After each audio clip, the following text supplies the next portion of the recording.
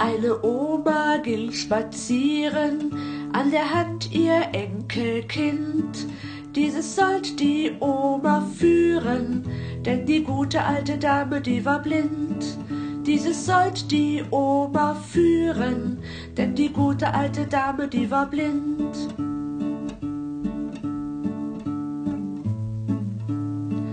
War ein Graben an der Straße, war ein Loch in der Chaussee.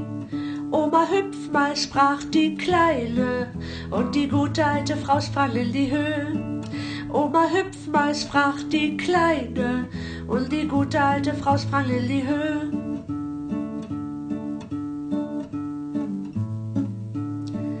Das Kind war sehr entzücket, als es die Oma hüpfen sah. Oma hüpf mal, sprach sie öfter, auch wenn kein Graben in der Nähe war. Hey. Oma hüpf mal, sprach sie öfter, auch wenn kein Graben in der Nähe war.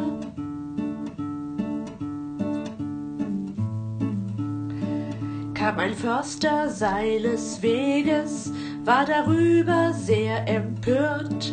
Hörst du auf, du freche Göre, Dein Benehmen ist ja wirklich unerhört. Hörst du auf, du freche Göre?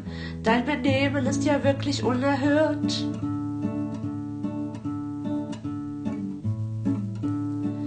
Förster, halten Sie die Klappe, Förster, seien Sie endlich still.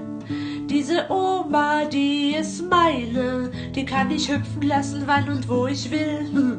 Diese Oma, die ist meine, ja, die kann ich hüpfen lassen, wann und wo ich will.